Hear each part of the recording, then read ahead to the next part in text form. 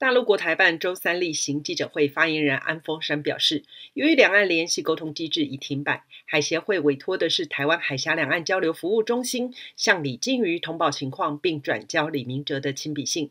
安峰山重申，李明哲是因为涉嫌从事危害国家安全活动，接受依法调查之外。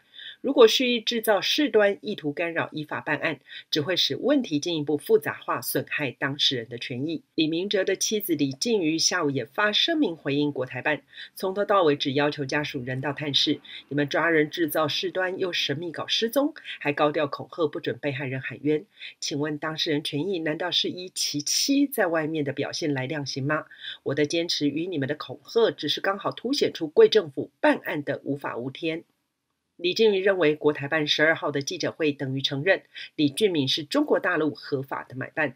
遭点名的李俊明接受访问时表示：“我决定退出，是因为让他有更多的时间可以休息，因为他这一段时间也许承受了很多压力，希望他未来能够走得更好、更顺利。”李静瑜的声明几乎是以逐字方式列出和李俊明对话。李俊明告诉李静瑜：“其实准确讲，这一次国安单位有点走样。其实你知道，有些单位有业绩压力，因为社会团体法，他们需要业绩，找错人，找错人，这不是个好案子。我比较担心的是爆冲。我今天讲的是本案，是因为广东国防部门爆冲，所以在本案走就是以往国安局与国台办的矛盾。”李金云认为，如今国台办证实李俊敏是海协会正式的受托人，那么海协会就是认为他们抓错人，怕北京知道，赶快派李俊敏为事，这就是他台胞证被注销的原因。李金云最后总结，本案根本是广东地方情报单位为了业绩创造的案子，他呼吁广东尽快释放李明哲，勿牵连玷污中华人民共和国大国的形象。李俊敏接受访问时认为，当时与李静瑜见面，看到手机放在桌上，一直到四月十号才觉得是在录影。你可以形容一下当时的状况吗？就他很悲伤，他看完信以后，呃，他在流泪，就这样子。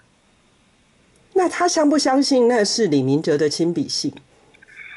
他没有，他当时一点都没有否认。我只是觉得说，呃，他应该很爱她的丈夫，然后希望只能尽快帮她丈夫。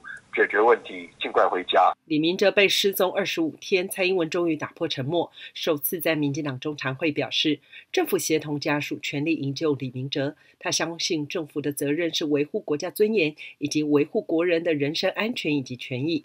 我们会尽力让李明哲能早日平安回国。自由亚洲电台记者黄春梅台北报道。